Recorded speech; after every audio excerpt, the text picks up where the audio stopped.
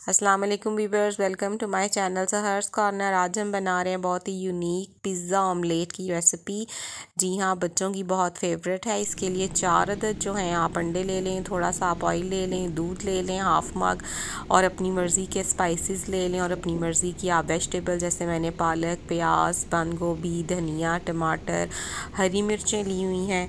और जो है, चार अंडों को आपने बहुत अच्छी तरह से बीट कर लेना है। और जब आप इसको बीट करेंगे तो इसमें आपने हाफ़ कप दूध डाल देना है। इसका क्या फ़ायदा है? इससे आपका जो ऑमलेट है वो बहुत ज़्यादा फ्लफ़ी बनेगा। और साथ ही साथ आप इसमें अपने स्पाइसेस डालें नमक, मिर्च, काली मिर्च, हल्दी और जो भी आपको पसंद हो, चिली फ्लेक्स वगैरह। सो जी, बहुत ही कम फ्लेम के ऊपर मैं तो स्टोव इलेक्ट्रिक से यूज़ कर रही हूँ तो मैं 500 के ऊपर पहले तकरीबन ये एक टेबल स्पून ऑयल है इससे अच्छा सा आप इसको ग्रीस कर लें पैन को। और आप इसमें सबसे पहले अपनी अनियन को रेड नहीं करना, आपने पिंक करना है, ठीक है? अगेन आपने इसको रेड नहीं करना।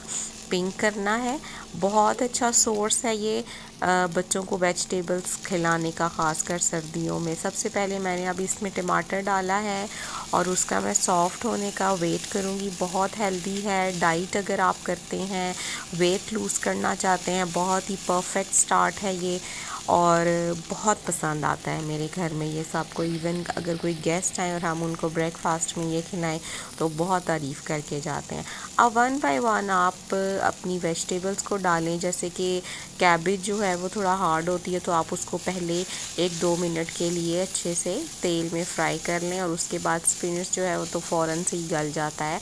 तो ये पालक के साथ इट्स फुल ऑफ़ आयरन जिसमें हम पालक को ओवर कुक भी नहीं करते हैं। अब यहाँ पर जो है वो मैंने इसमें पालक डाल दी है और अगर आप देखें तो साथ ही साथ मैंने इसको फैला लिया बिल्कुल पिज़्ज़ा की शक्ल में और साथ ही मैंने बैटर इसमें पोर किया है और इसको इक्वली डिस्ट्रीब्यूट करने के बाद अब मैं इसको स्टीम पर लगाऊँगी, ठीक है? आप स्लो फ्लेम पर लगा दें और ये तकरीबन फ़ाइव टू एट मिनट्स के बाद आप देख सकते हैं बहुत ही मज़ेदार इसकी खुशबू आ रही है और बिल्कुल फ्लफ़ी सा ये पिज़्ज़े की शक्ल का ऑमलेट मेरा तैयार है। ठीक है, इसको आप जो हैं वो पलट लें और आप देख लें दूसरी साइड से भी आप इसको अप साइड डाउन मैंने किया है। इसके आप बिल्कुल पिज़्ज़ा के स्लाइस बना लीजिए, बहुत टेस्टी बनता है, परफेक्ट लंच बॉक्स आइडिया है परफेक्ट स्नैक है। Subscribe to my channel for more videos like this अल्लाह हाफिज़ स्टे ट्यून